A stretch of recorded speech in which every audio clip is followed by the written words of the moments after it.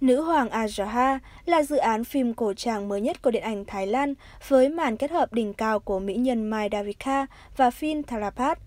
Nấy bối cảnh lịch sử ở trong bộ phim Mayur, đây là dự án được đầu tư vô cùng lớn với bối cảnh diễm lệ, trang phục cũng như phụ kiện của dàn diễn viên cũng được chuẩn bị kỹ càng và tinh xảo. Bên cạnh đó, diễn xuất của cặp đôi Mai Davika và Finn Tharapat cũng là điểm thu hút của bộ phim. Được biết, đây đều là hai gương mặt đình đám của làng điện ảnh Thái Lan với nhiều tác phẩm nổi tiếng.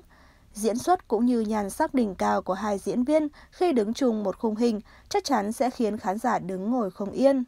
Khi mà những tấm poster và một vài đoạn trailer được hé lộ, thì ngay lập tức dân tình đã phải suýt xoa trước những phân cảnh siêu ngọt ngào của cặp đôi chính.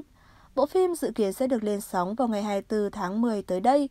Hy vọng rằng mọi người sẽ ủng hộ cho Mai Davika và Finn Thalabat nhé. Để cập nhật những thông tin mới nhất, cảm ơn và hẹn gặp lại quý vị và các bạn trong những video tiếp theo.